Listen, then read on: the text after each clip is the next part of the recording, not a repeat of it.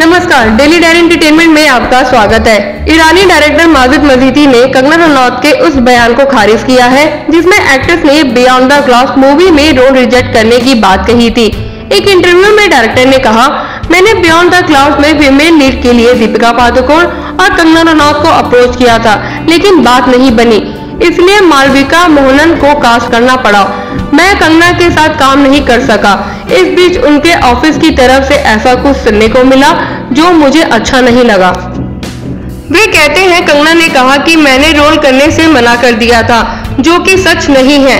ये खबर सुनने के बाद हम, हमने कंगना से संपर्क किया तो पता चला कि कंगना ने नहीं, बल्कि उनके ऑफ़िस ने खबर पब्लिश कराई थी। डायरेक्टर ने कहा, मेरी और कंगना की कई मुलाकातें हुई।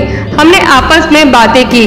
ज़्यादा डिटेल में ना जाकर मैं बस यही कहना चाहूँगा कि ये सच नहीं है कि कंगना ने फ़िल्म में रोल को रिजेक्ट किया था। माजिद मजीदी ने कहा कि वे बहुत अच्छी एक्ट्रेस है। स्ट्रॉन्ग है, मुझे उम्मीद है कि हम भविष्य में साथ काम करेंगे।